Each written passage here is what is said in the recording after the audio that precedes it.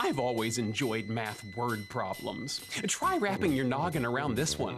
A brilliant young boy named Sheldon is about to start college. He needs to get from his linear algebra class to his physics class, which is 822 meters away.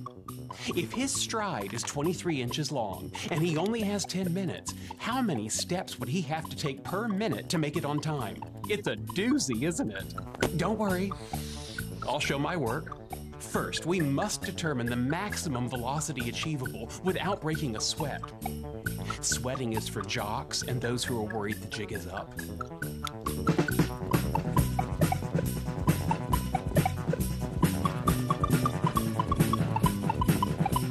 Hi, Sheldon. Not now, Billy. I'm in the middle of a math problem. Okay.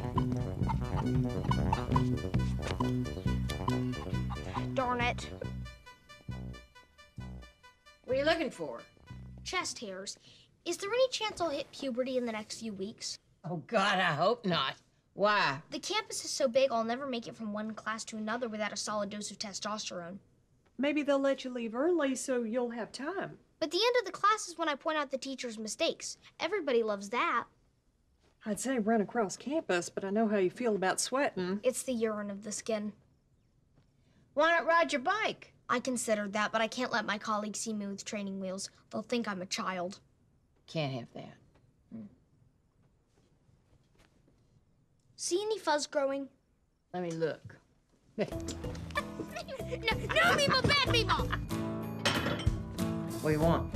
I was hoping you could help me build up my leg muscles to increase my speed. If you don't want people chasing you, be less annoying.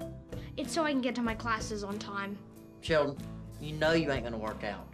I will. This is important. Fine. Here, hold these. Now, keep your back straight and bend your knees like this.